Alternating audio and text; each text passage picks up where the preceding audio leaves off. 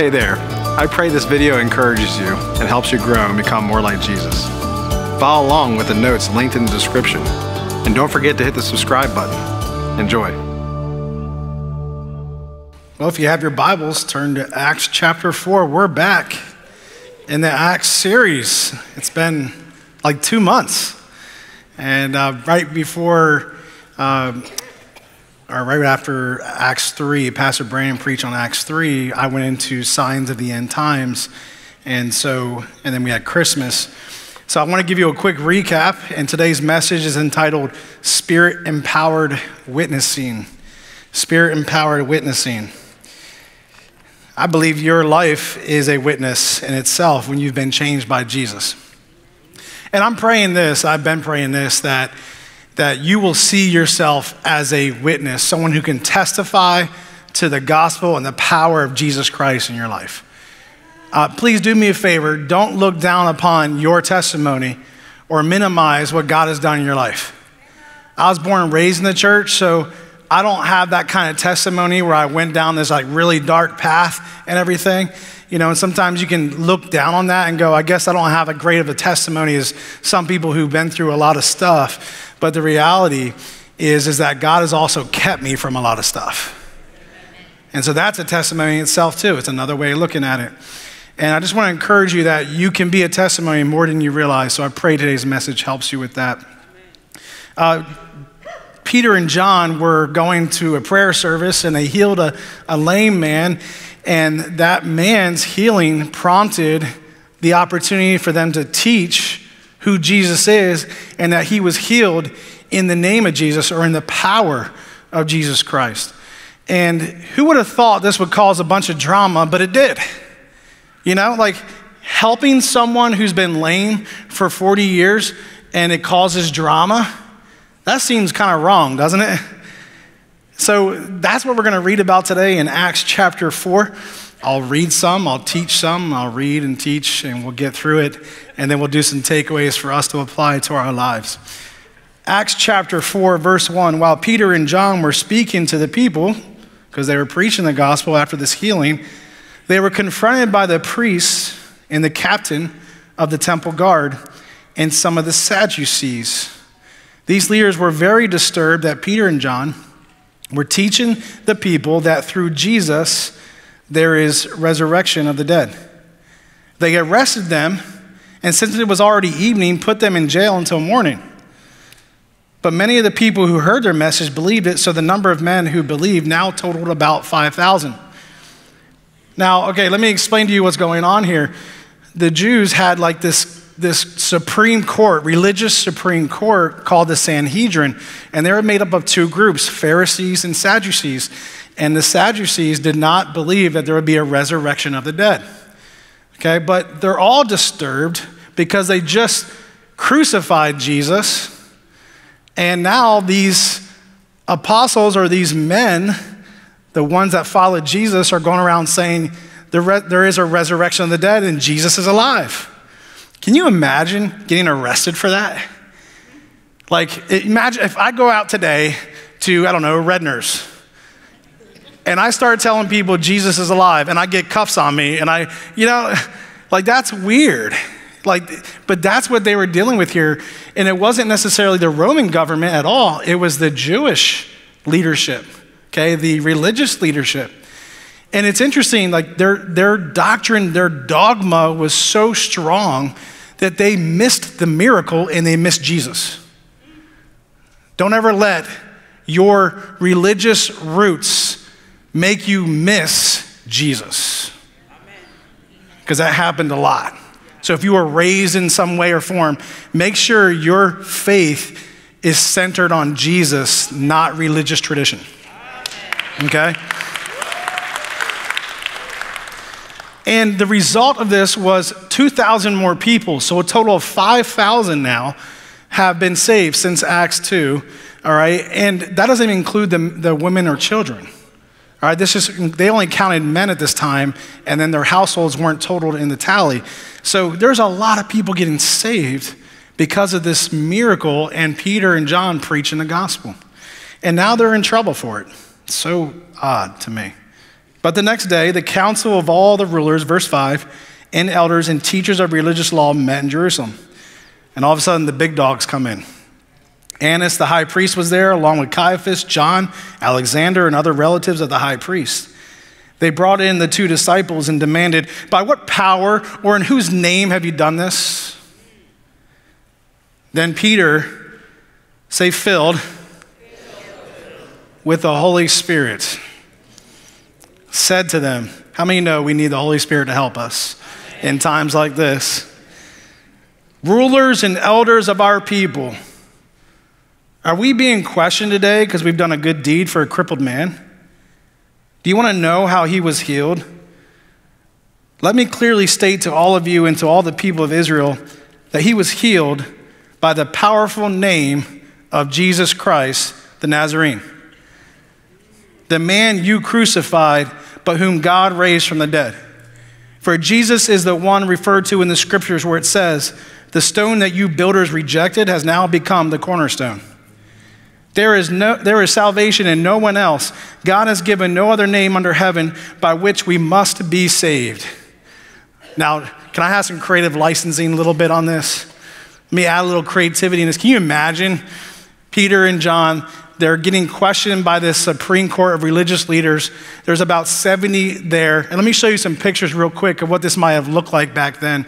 I have a few to show you of what it could have been in Solomon's colonnade. This is where it took place. So it was in the temple, and it was like these columns that were down uh, around the whole building, but there was a certain side that they were in, and it was like Solomon's porch, is what it's called. And you can go to another one and show them what it looked like in today, okay, or what it looked like back then as well. So you have these, these columns, and they were teaching the people, and there was a large crowd of people, all because this man was healed. And now they're arrested. It's the next day, and they're being challenged. And you would think that Peter and John, if they had to get out of this situation, maybe they would, you know, digress and hold back some of the strong things they said. Did they do that? No. No, because the Holy Spirit gave them the words to say. The Holy Spirit gave them the courage to do what they needed to do. And can you imagine John next to Peter? What if he was like this? What if John was like, Hey, uh, Peter, what are you doing, man? uh, these are the same people that killed Jesus, you know. But he didn't do that. He didn't do that. Instead, they both boldly stood there before, the, uh, before them and before the Lord and testified of the truth. Simple as that. There is no other name under heaven by which we may be saved except through the name of Jesus Christ. And it was Jesus that healed this man. It was the power of Jesus that healed this man. Now imagine the man healed. He's standing over here like, yep, I'm, I'm the one that just got healed. I'm just the miracle. Okay, they're the ones saying those things, okay? No. I'm just the miracle. But yeah, I'm, I'm standing after 40 years. I'm here. Praise God for that. Amen. They quote, Peter quotes Psalm 118 about the, the stone being rejected, and now he's become the cornerstone. That was referring to Israel. It was uh, looking back at Israel and how small Israel is. And remember, I showed you that slide of how small Israel is next to all the nations around it, even today? It is small, isn't it? It's insignificant. And they looked at Jesus as insignificant, but he wasn't in God's eyes. And God elevated Jesus, God glorified Jesus, and he became the cornerstone, not just a pebble, but a cornerstone that holds buildings together in real life at this time. Without the cornerstone, they weren't able to build properly. Jesus became the cornerstone or the capstone so that everything could be built properly. Are you following me? So Jesus is not insignificant. He is everything that matters right now. He, he is the one that you've been looking for. That's what Peter is saying to them. He's like, He's the one. He's the one you've been looking for in the Torah, in the Old Testament, in the prophets. He's the one. And they hadn't believed that yet. So this is why they're coming against Peter and John. All right? But I believe they're really coming against Jesus. So let's, let's look into this more. Verse 13 The members of the council were amazed when they saw the boldness of Peter and John, for they could see that they were ordinary men with no special training in the scriptures. They also recognized them as men who had been with Jesus. Isn't that awesome? What kind of reputation do you want? I want that kind of reputation. That man's been with Jesus this week, or that man's been with Jesus. That man's walked with Jesus. That man's been fellowshipping with Jesus. Jesus must be his friend. And they were amazed. And I got, I got to tell you this like, this is something that really hit me in this story. That you would think the same people who had Jesus crucified, even though he was innocent, you would think that their response would be much worse right here. But I believe that when the Holy Spirit uses you, he helps things, even truth like this, land on ears better, like gracefully. And I believe the Holy Spirit helped this hard truth, this difficult truth to grasp, that you killed Jesus. You killed the cornerstone that we've been waiting for. He, the Holy Spirit made it um, palatable, made that truth edible, made that truth acceptable into the way, in the way of this, in this way. They didn't kill Peter and John in that moment. Because why would they do anything differently? They just got rid of Jesus. Why wouldn't they sentence them? So I'm getting ahead because I didn't we even read that part. I'm, I'm sorry. I'm sorry. Okay, let's go to verse 14. But since they could see the man who had been healed standing right there among them, there was nothing the council could say. Remember that guy? He's over here like, hey, yep, Used to be on the ground for 40 years, and now I'm standing here in front of you. Verse 15 So they ordered Peter and John out of the council chamber and conferred among themselves. What should we do with these men? They asked each other. We can't deny that they have performed a miraculous sign, and everybody in Jerusalem knows about it. But to keep them from spreading their propaganda any further, we must warn them not to speak to anyone in Jesus' name again. See, they got a problem with Jesus, don't they? So they called the apostles back in and commanded them never again to speak or teach in the name of Jesus. You know, that's all the enemy has is threats. That's all he has. And the enemy doesn't like Jesus because God glorified Jesus. God is using Jesus. God is using Jesus to save mankind from their sin. Verse 19, but Peter and John replied, and this, again, this is their chance to go, okay, we're good. We're not going to get crucified. We should go. Right? I, we should probably bow out, you know, maybe not even say anything. We'll just keep doing what we want to do. Don't even say anything. You know, less is more. I'm not going to poke the bear. Nope. Sometimes the Holy Spirit wants you to say the hard things too. Verse 20, we cannot stop telling about everything we have seen and heard. I think that's, wow. We cannot stop telling everything we have seen and heard. The council then threatened them further, but they finally let them go because they didn't know how to punish them without starting a riot.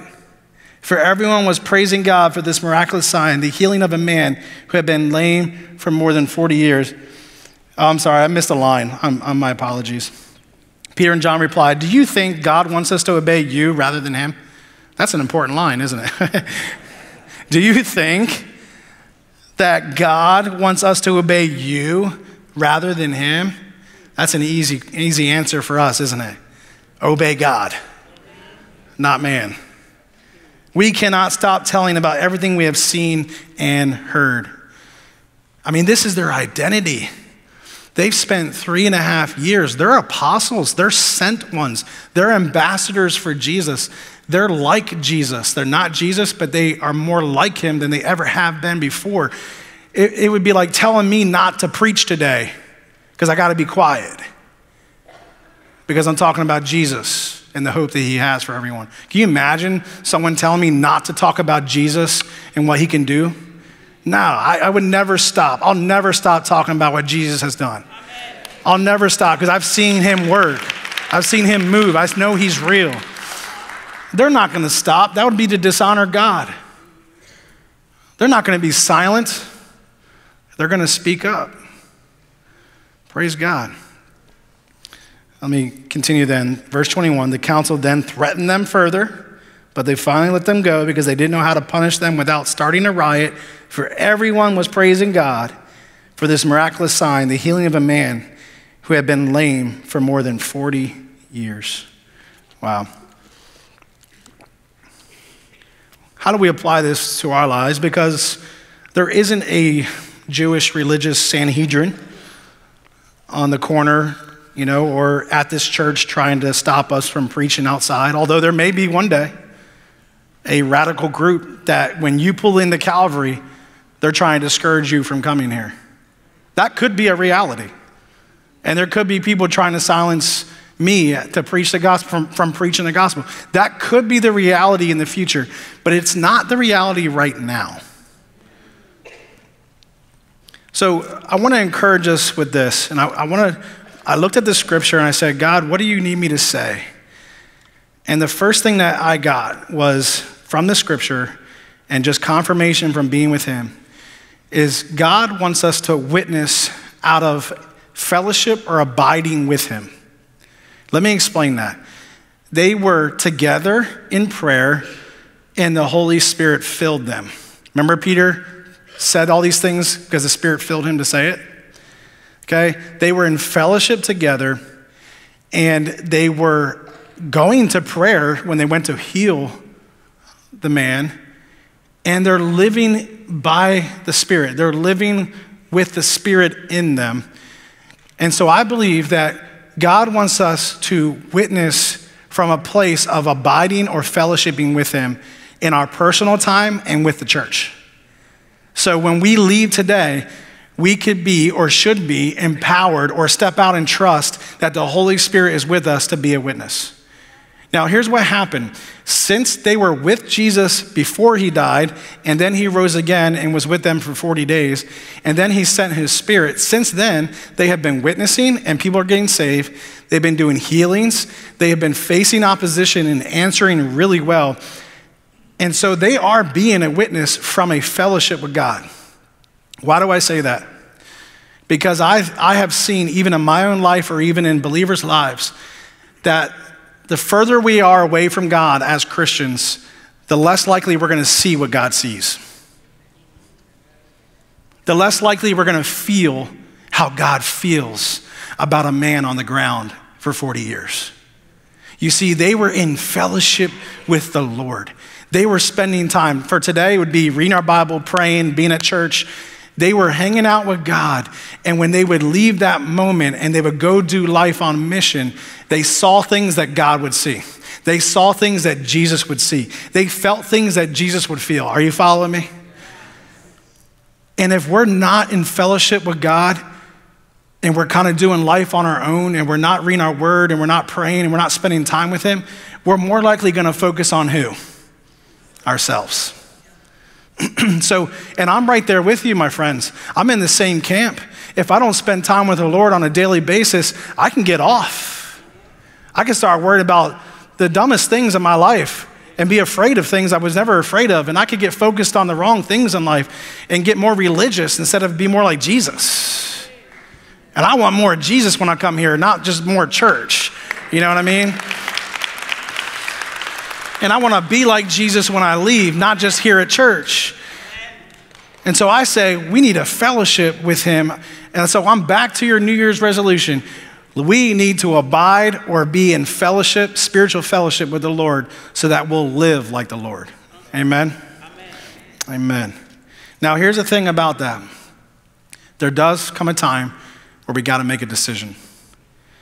We got to make a decision to live on mission for Jesus and not live for our own mission.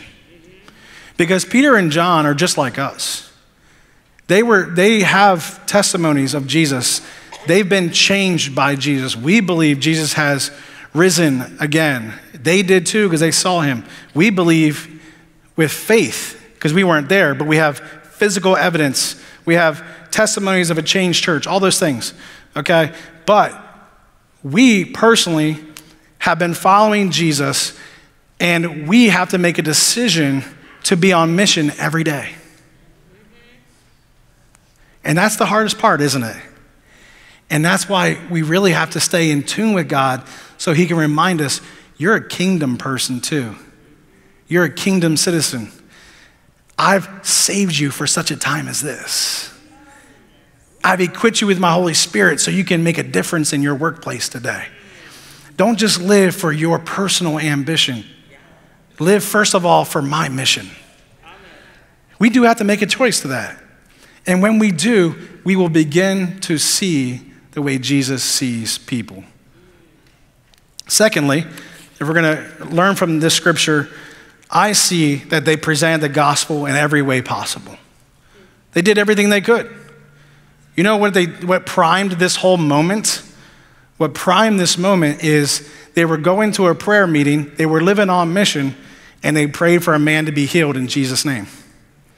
That prompted a response for all the people who had questions. How many know that you can do a good deed or a miracle this week in someone's life? Supernaturally or even naturally, be a blessing to someone, and it causes a conversation in your workplace or your neighborhood or in your family. And God wants to use that. The second thing they were living like is they were living like Jesus. We can live like Jesus. We want to be like Jesus. And remember what I taught last week in um, John 15, 5. Apart from me, you can do nothing. But also, this when we're in fellowship with Jesus, we'll look more like Jesus to people outside in the world. Have you ever had anyone come up to you and go, You are different? There's something different about you. And why are you always smiling? How are you happy right now? Aren't you upset that line took an hour? You know, whatever it may be. I'm not talking about the DMV, but I may.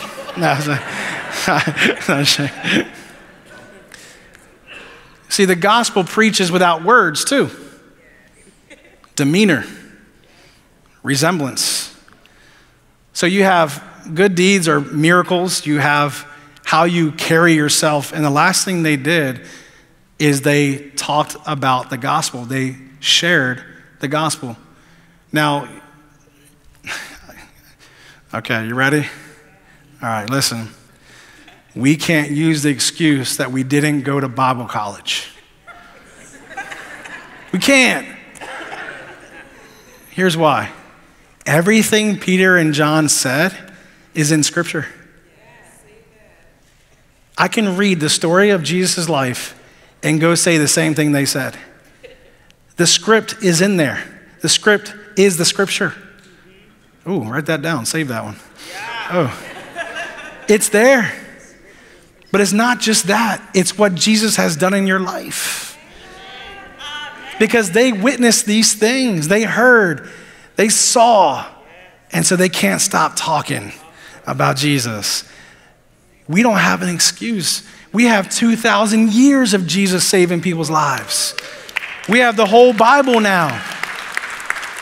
We have the whole Bible. They didn't have any Bibles in print yet except for the Old Testament on scrolls and papyrus paper or whatever that was, animal skins.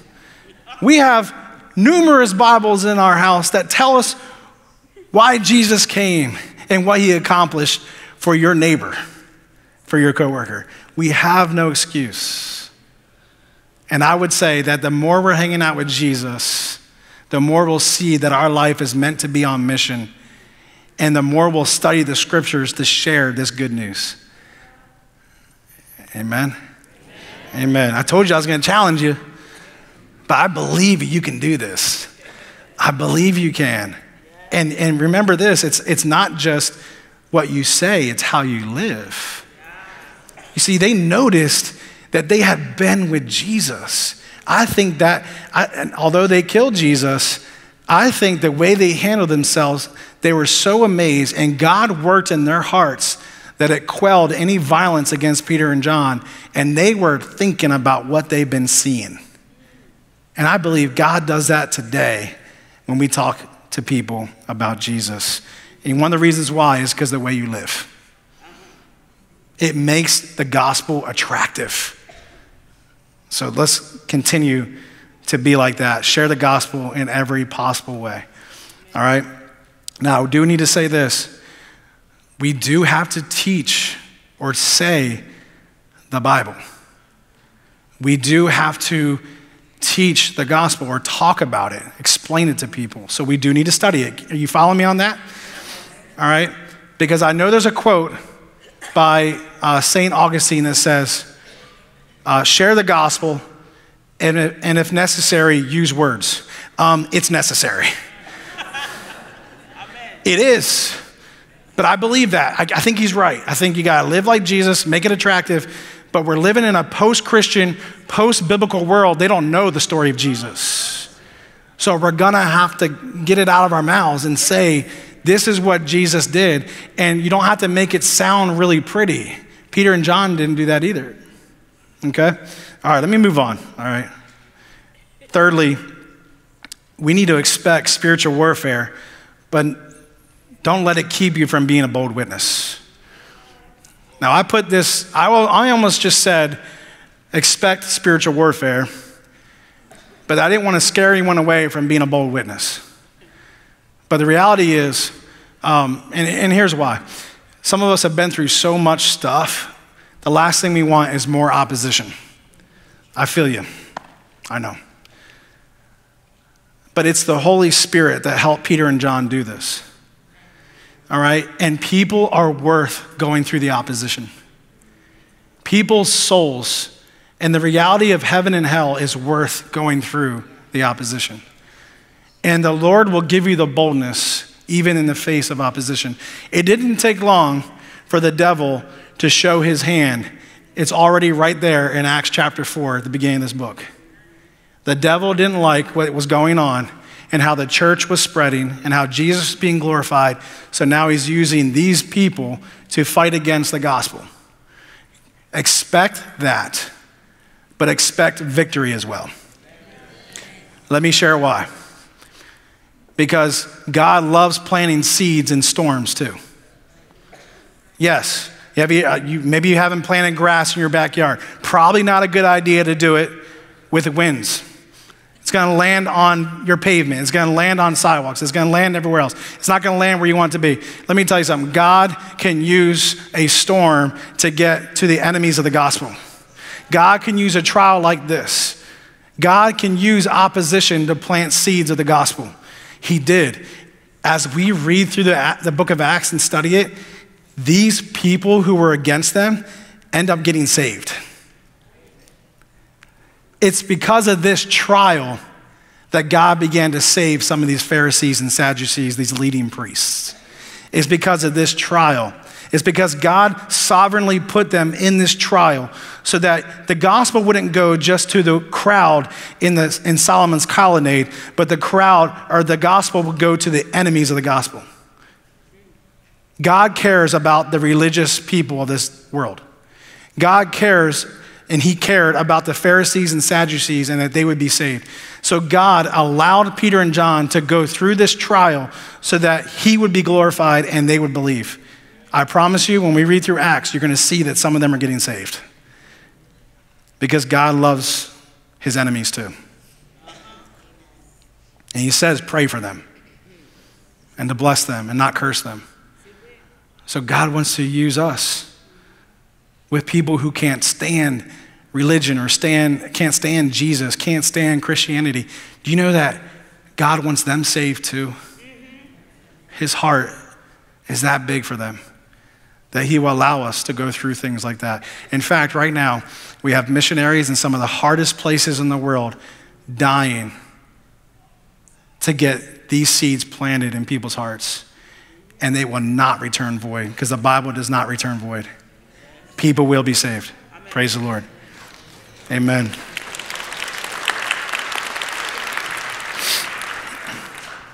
I thank God for men and women, but men like Dr. Reverend Martin Luther King Jr. In the face of hate and opposition, he stood up for what's right. He was a biblical man, a godly man. He was driven by the gospel that Jesus came for all and died for all so that all may be saved. I thank God for that because it's impacted even my own family members. It's impacted this church. A man that wasn't afraid to stand up and speak the truth. Thank God for that. And all the people he influenced as well. Thank God for that. He's made a difference in our nation. And lastly, and by the way, I'm sure he expected spiritual warfare too. I'm sure he expected it. But he kept going. And he gave his life for it. Lastly, this should encourage us all.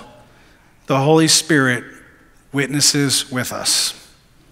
The Holy Spirit is witnessing, with you. You know, Jesus promised the Holy Spirit to be with the disciples. Let me show you the scripture in John chapter 14. I uh, saved it for the end, but I had it in the wrong place in my outline.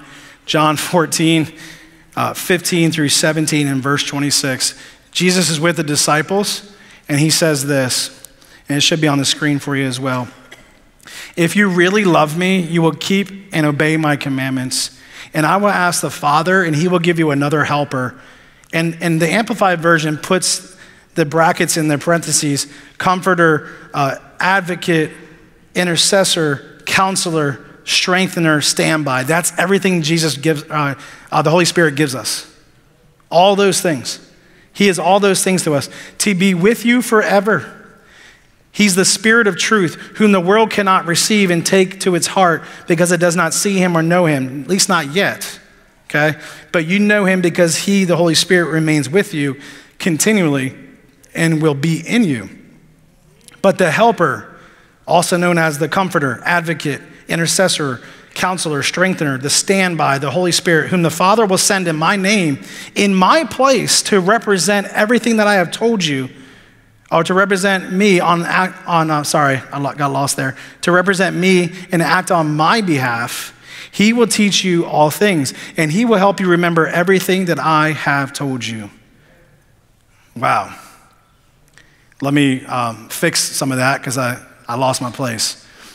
The Greek word is paraclete, and it means to come alongside. But what it means is, is Jesus alongside you. So we may not have walked with Jesus for three and a half years. But I don't know how long you've been saved, but you've had the Holy Spirit or the presence of Jesus with you that long.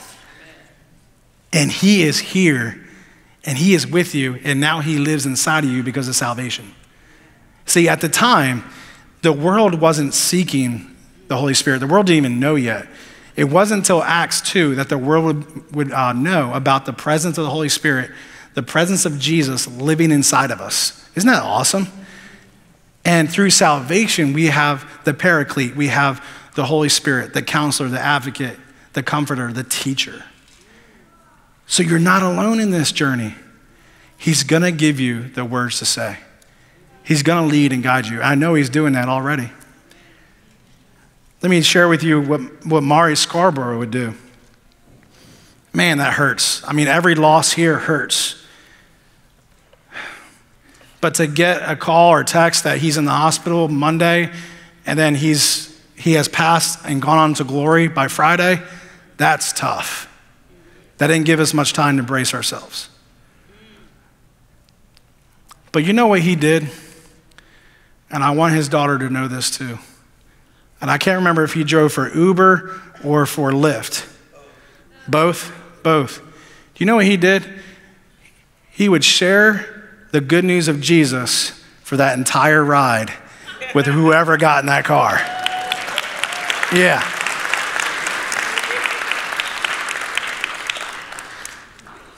And who knows, maybe, maybe he only got one star because of that. Maybe his reviews went down. He didn't care. Because not everyone's gonna accept, not everyone's gonna agree. But he shined Jesus in that car every time. He showed them what Jesus' love looks like. I thank God for men of God like that. I'm gonna miss him. Every Sunday, he would encourage me. Every Sunday. He would just say, Keep going, brother. I love what God's doing through you. I love what God's doing to this church. It's going to hurt. It's going to hurt to not hear that. It's going to hurt to not have our families that are moving on. But you know what? God always knows how to fill in the gaps. Fill in the gaps and bring another. Amen.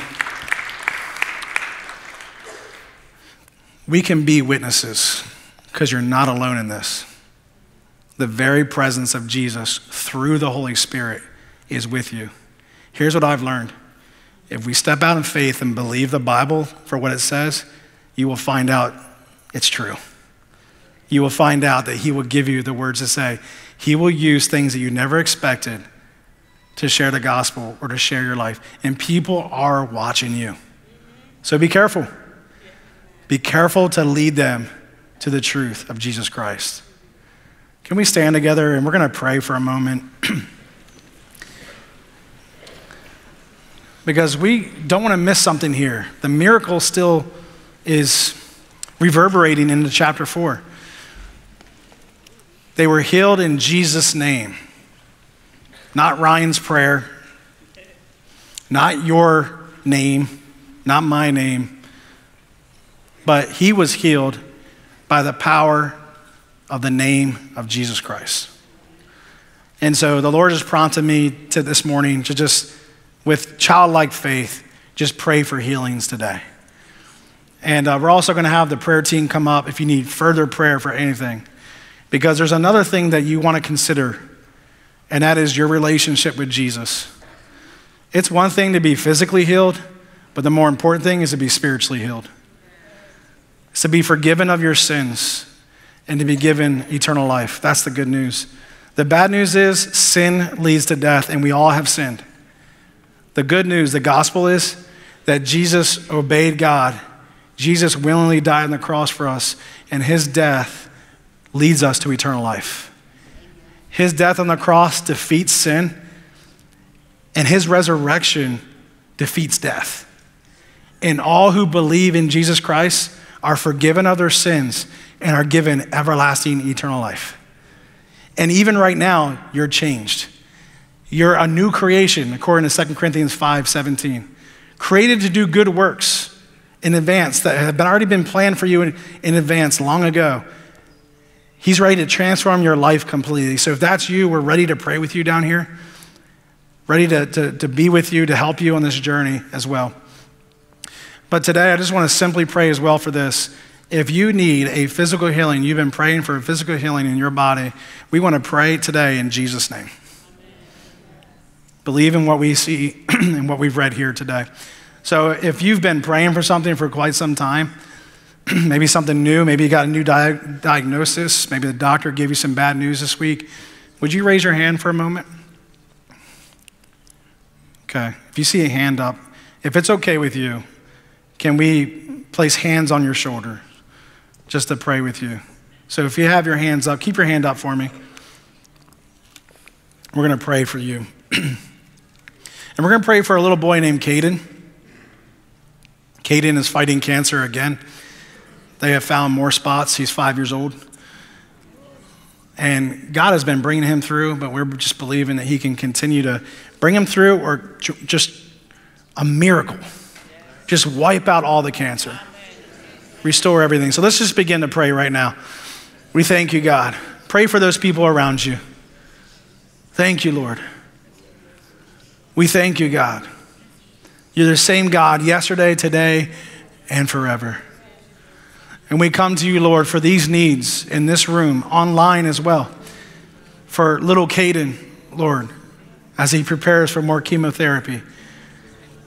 God, we believe in miracles. We believe in the name of Jesus Christ for salvation and for healing. And we ask, God, those hands that are raised for our five year old Caden, for others not represented here today, we pray, God, that you would glorify your son once again, that you would be glorified because we ask for a miracle healing today in Jesus' name. Let it be done in this moment right now, Lord. Thank you, God, for the faith you've given us. Thank you for the testimonies of saved lives, of healed lives, Lord. And I pray, Lord, you would deliver today from these ailments and illnesses. We thank you, God, for your faithfulness to us. We thank you, God, that your word says we can come boldly to the throne of grace where your mercy pours out upon us.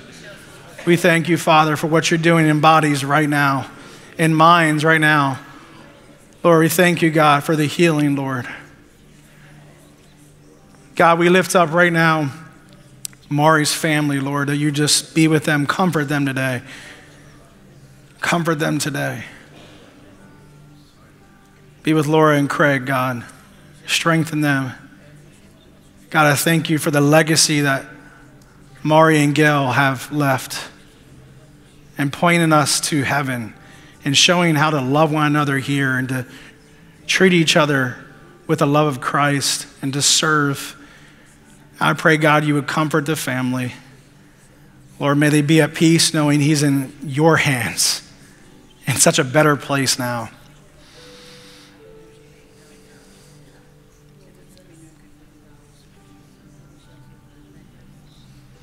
Thank you, God. And Lord, help us not to look at our lives from our perspective. Help us to have kingdom perspective. Help us to see what you see in us. You see an army of witnesses. You see an army of changed lives by the gospel. God, you're not looking at our education. You're not looking at our inadequacies. Lord, you're looking more so at our potential because you see the Holy Spirit living in our lives. And God, I thank you that your Holy Spirit fills in the gaps.